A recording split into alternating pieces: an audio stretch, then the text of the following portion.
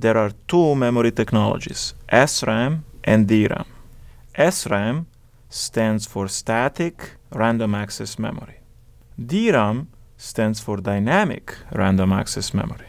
The random access part in both names simply refers to the fact that we can access any memory location by address without needing to go through all the memory locations. So random access is as opposed to sequential access like a tape where you have to actually scan through the whole tape to get somewhere. With memory, we can arbitrarily access any part of the memory without really needing to get to it. So the only difference between SRAM and DRAM is this static or dynamic behavior. Static in SRAM refers to the fact that SRAM retains its data while the power is supplied. So as long as you connect it to a power source, it's going to retain the data that you wrote to it. It's not going to lose it.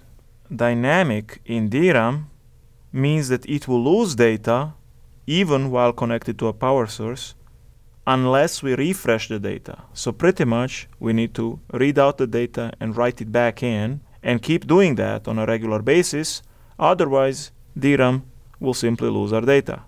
Note that both of these types of memory will lose data when the power is not supplied, such as when we turn them off. So it seems like SRAM is better. We like it because we don't have to do anything in order for it to keep the data. Whereas with DRAM, we actually have to access the data and write it back in in order for it to not lose it. So why do we want to have DRAM?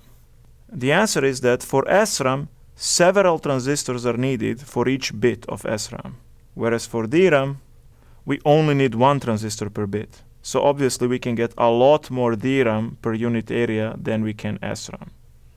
So SRAM is good because it retains data, but bad because it's more expensive.